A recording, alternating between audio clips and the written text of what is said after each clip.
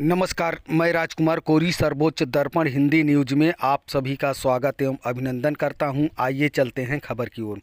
आज मुहर्रम की दसवीं को चकनूर एवं धर्मपुर अखाड़ा एक साथ होकर निकला और भाईचारे का संदेश देते हुए सन हुसैन की याद में करतब दिखाते हुए आगे की ओर प्रस्थान किया।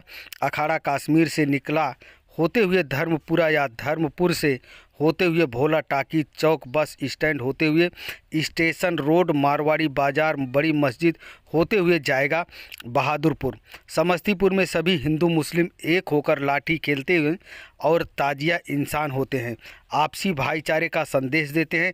ताजिया की खूबसूरती है। समस्तीपुर से राशिद परवेज की खास रिपोर्ट।